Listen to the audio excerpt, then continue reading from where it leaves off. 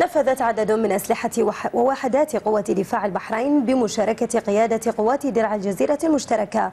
المرحلة الأولى من تمرين القيادات المشترك درع الخليج العربي. التمرين يهدف إلى إعطاء الفرصة للقادة العسكريين لتوحيد الأسلوب العسكري بين القطاعات العسكرية المختلفة وحل بعض المعضلات نتيجة اختلاف التسليح.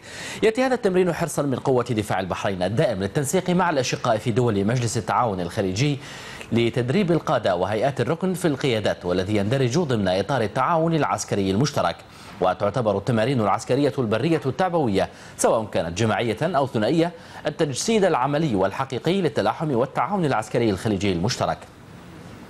ومن هذا المنطلق تحرص قوة دفاع البحرين على مشاركة القوات المسلحة بدول مجلس التعاون في مختلف المناورات التعبوية والجماعية والتدريبات العسكرية الثنائية. ويمثل تمرين درع الخليج العربي هدفا أساسيا لتقييم الجاهزية القيادية للقوات البرية والاختبار القدرة العسكرية وحسن الأداء القتالي.